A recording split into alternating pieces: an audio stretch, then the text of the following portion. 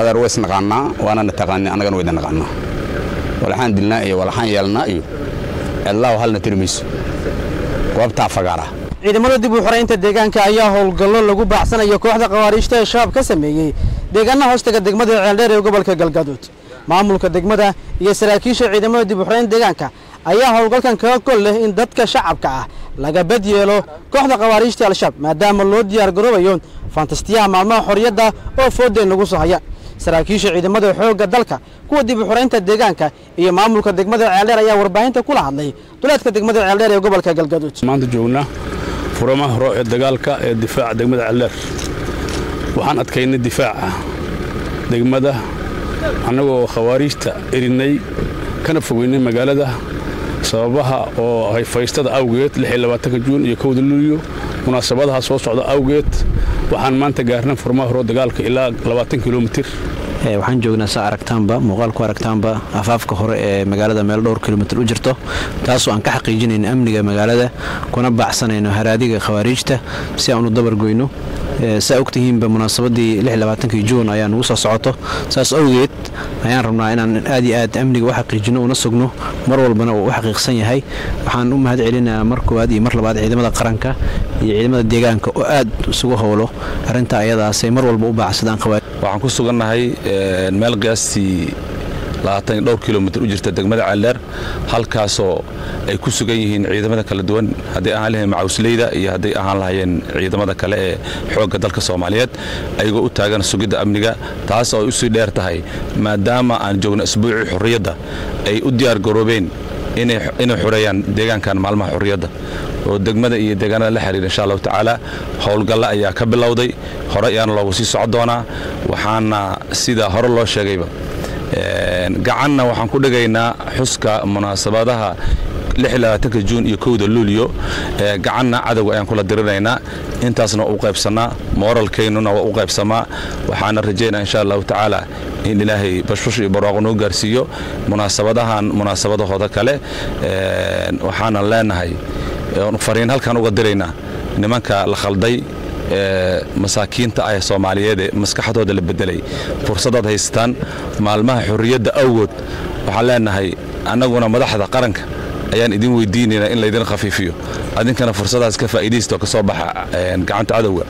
Waxa annagu aan u taaganahay maanta qoraxdaanu waxa waaye cadowgan ilaahay inaan iska qabanno gacan bira aan ku qabanno dadkeenna iyo dalkeenna iyo diinteenna inaan difaacanno wax aan ka qabno ma jiraan waa dad sheegardarre isku soo bahaystay. Kutub beena noo sheegay. Intii ay qaldi kareenna waa qaldeen laakiin hadda inta wixii hadda ka dambeeyo waxaan rajaynaynaa dadka aqligoodu waa soo tartiib tartiibsaday hadda inta maxaabiisto hadda maanta aan ku hayno waa waa maacadadna waaye inta kalena waxaan leenahay iska imaada dadkiinaad u timideen dalkiinaad u timideen diintiinaad u imaahaysiin marka howlgallada ka dhanka kooxda khawaariijta al-shabaab ayaa hadda si dardarle kaga soconaya deegaanada dhacabariga gobolka galgaduud waxaana halkan lagu jebiyey kooxda khawaariijta al-shabaab oo kol hore isku dayday in ay soo weerarto. Waxaana halkan ku gaaray jabbaa xadle maxamed cabdulaahi cumar. Warbaahinta qaranka galgaduud. maaha in laga celiye waxaa kaloo laga celiyey maxaa la meel kalena waa laga celiyey saddex meelaa laga celiyey marka qof kastoo qabiil ah soomaali ah inuu sas aaminsanaaday ahayd laakiin unfortunately maanta waxaa jirto qof iska dhigaa inuu wadani yahay at the end of the day haddana yani aaminsan inuu dadka wareeriyo oo maanta dhan wareeriso ku xiro. Xasan baa may u kaali dee walaalo? Dadkana long time ay siinayse odayga hadda nugu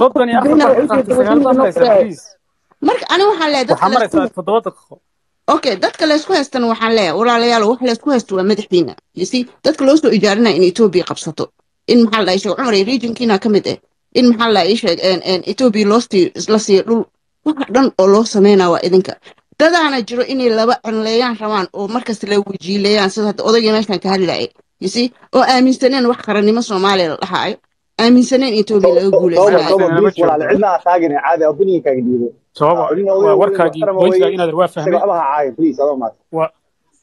kulli xaal ani waxaan leeyahay wiilkaas ka celiya waanba ka leexday wiilkaas matabaan meesha meesha ka celiya n a wuxuu leeyahay xasan weligeena anaga nalama gumaysanin oo markin oo etoobiyan madax ma u raaricin. Kan madax u raaricina etoobiya weligiisa u raaricin jira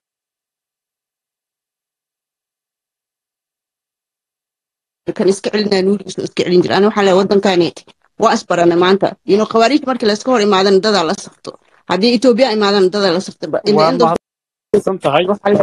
Dadka runta le markasta guulaysana wadankan dadka ilaashana bris aad waa mahadsantahay toobay? Waa tiri bointigaagii toddoba daqiiqana waa ku siiyey. Raalli ahaw bointigaaga mar haddii aan la helay okay weeye. Hadalka yar iyo ka badan waa isla halkii. Waa mahadsan dad dad gaara uma jir. Anugu markaan lahaa dad baa etoobiya la socda maaha qabaa'il iyo gaar. Waa dad cid kasta ka mid ah reer kastay ka mid yihiin. Bahasha saa u fahma waxaan kaloo saxayaa maaha in la isku cabsi geliyo meesha la rabo meeshaada weeyi.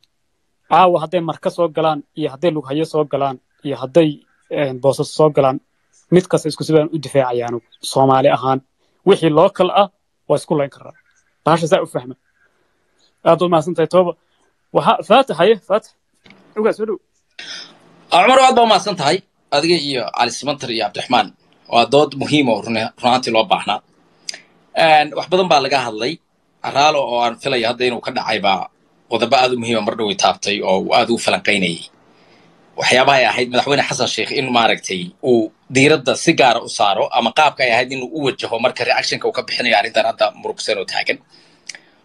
Waxaan rabaa inaan qodob ku bilaabo laba qodobo yarar ka kooban inaan dhaho laakiin waxaan ku bilaabayaa waxaa moodaa in misunderstanding uu ka taagan yahay. Marka aynu adjust garaynayno waxaan la yidhaahdo landlockid iyo loss of the seas waddamada landlockidka oo sea accesska aan lahayn. Waxaa marka laga hadla waxaa moodaa inaynu maldahano oo aynan u qeexayn sida xeerkaasi arrintaas ay ku imaan karto.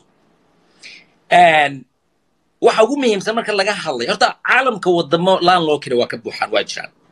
Laakiin ma jiro waddan si khasab ah isaga oo ka tillaabsanaya madax banaanida waddankaa badda lehi uu lahaa uu xoog ku qaadanayo isagoo adeegsanaya waxaan xaq u leeyahay inaan bad helo.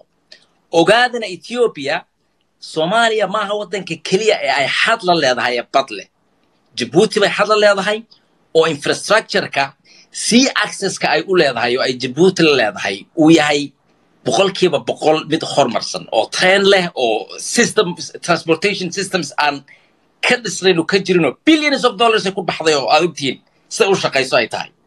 Eritrea baa ognahay casab iyo inta ay aadiis isu jiraan dhexdeeda hadday bad u dhimanayso oo ay ay ay u gaajaysan tahay sea access the issue here is not sea access was something else. Ethiopia dhul bay doonaysaa wayna cadda waxaa laga hadlaya ethiopia ay doonaysaa waa dhul iyo influence. Ay regionkana ku yeelato baabulmandad iyo meeshaan hadda aan ognahay sida ay saamaynta ugu yeeshay dhaqaalaha dunida. Dhaqdhaqaaqan hadda meeshaan xuutiinta ee ka jira. Bay rabtaa inay iyaduna shaarka inta soo gashatay tiraahdo meeshaan ana deganahayo ay miiska regionally iyo internationally ay soo fadhiisato qayb ka noqoto. Marka laga hadlaya haddaba landlockid markaa tahay oo aadan bad aad doonayso inaad aad ama aad sea access aad hesho. Lamber one cumar walaaba badhow qodob baad ka dhawaajisa wuxuu ahaa volunteer waa inay tahay wax horta. Waa in horta aadan khasbin ilaa gurigaaga haddaan soo galo oo xoog ku soo galo aniga iima taallo inaan ka hadlo ku idhaahdo aad tiraado waaba degaya qayb baan qaadanayaa iima taallo inaan ku dhaho haddaad guri doono sida aad degtid ilaa hadalo ma aha waa inay kaa muuqato horta in lagugu xad